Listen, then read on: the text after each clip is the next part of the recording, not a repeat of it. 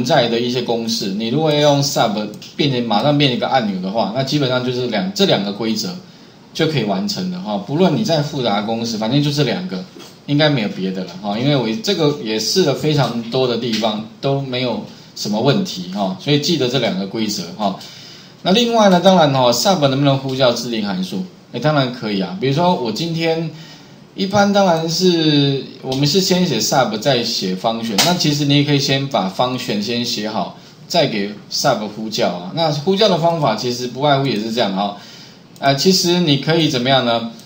这边再也许从上面复制贴下来，把它改一下，门号呼叫自定函数。那呼叫的方法啊，不外乎就这样嘛。其实就这样，其实这个就是刚刚的清除了，或者你可以把清除贴下来，然后改一下呼叫自定。那呼叫的方法其实特别重要。第一个，就因为这边有个方选，对不对？你可以把这个方选哈拖拉下来，就是哎这个名称哈。那我要怎么呼叫呢？因为它会 return 嘛，return 给谁？那刚刚我们是在这边插入，所以它 return 到这边。可是如果你是 sub 呼叫它的话，你也可以怎样？这边再打一个手机有没有？哎，刮胡，他问你说，哎，请你给我电信业者在哪里呀？哎，那我们应该在哪里？应该是在什么？在这个上面呢？那 sub 其实就要自己去抓，所以是 f g h。所以啊，基本上的话，你要给三个资料，这三个资料分别就是啊，这个可以拖拉过来，这边改 f 啊，所以给他第一个资料是电信业者，逗点，他会问你区码有没有？你会发现这边有出字嘛？啊，那这个区码就是 G 栏。所以再把它复制过来，这边改成 G，然后再来什么？再来就逗点，问你末码，哎，末码的话呢，基本上就是 H，所以你可以把这个再拖拉过来，这边改成 H。好，这样的话呢，基本上 sub 哈也可以怎么样去呼叫方选，不过前提特别重要，你可能是先写好方选，再来写 sub。好，那你做完之后呢，哎，可不可以执行？当然，基本上哈，啊，不过它执行的方法哈。哎，比较特，我这边设中断点，可以让它停一下，因为跑太快。呼叫的时候，它会跳到上面去。哦，我按这个是中断点，好，可以，它会停住了。配合 F 八，好，啊传过来的东西基本上就是有一个一一，因为我自自动去哪边抓呢？它会自动去这上面抓，把一一抓过来，然后把八四抓过来，把七抓过来，抓过来之后呢，再方选，它帮你怎么样？帮你串完之后，return 给谁呢？给手机，手机串完之后再丢回去，有没有？再回来的话呢，实际上就跳回来这一行，它就直接怎么样？把手机的结果丢给这个储存格，再放到这边来。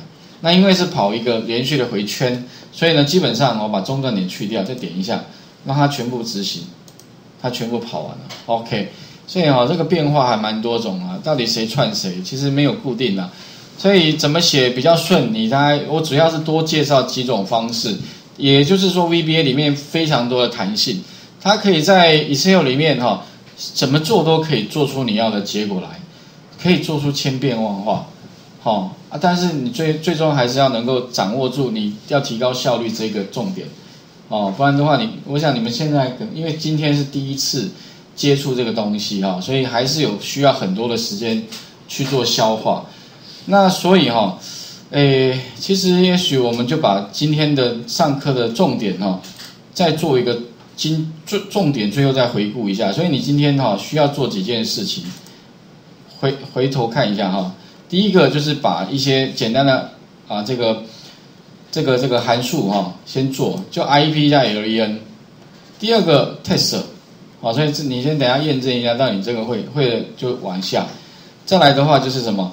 再来就是开启开发人员，然后 VBA 的两种形式，sub 跟自定函数方选呐，哈，sub 跟方选，然后呢就是做出按钮，好，那我们就是门号清除，那再来就是什么？方选，最后才是输出公式，再来就是输出自定函数，啊，如果可以哦，你最后就是怎么？样把这些东西啊，也许做成按钮啦，类似像这样，呃，门号，这个是用那个 active。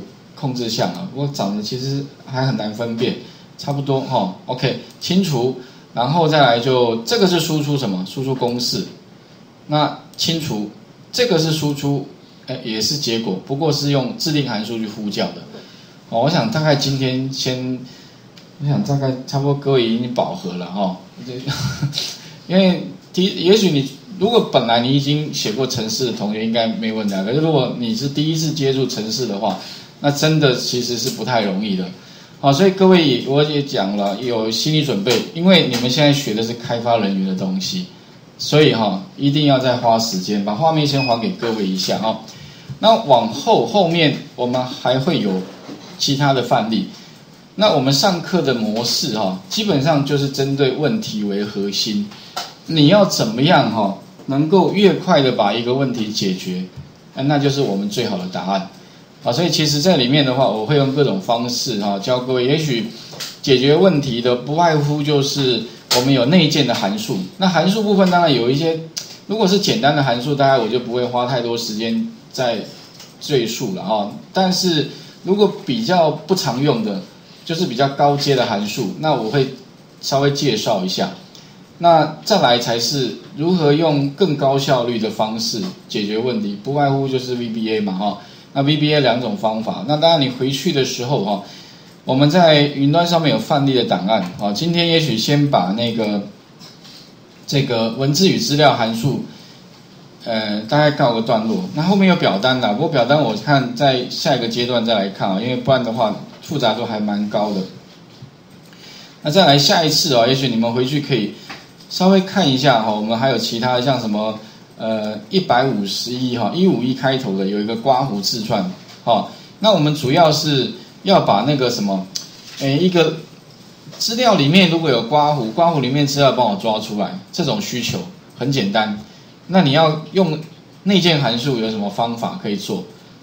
哎，VBA 有什么方法可以做啊？最好当然就是一点下去自动全部完成，当然最好。可是如果没有，那你就必须要自己变出来哦。啊，一百五十一百五十二是哎长宽高不止一个刮弧，有三个刮弧。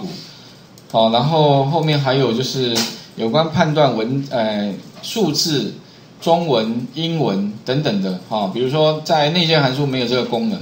可是我要有这种需求，判断说，哎，我这个储存格里面，我写我可能只需要抓里面的数字的话，你帮我把数字数字以外的东西又不要，那有没有怎么这有没有内建函数是做这个？好像没有，那怎么办？你就必须要自己去定义哈。所以这部分的话，我想回去可以先试试看。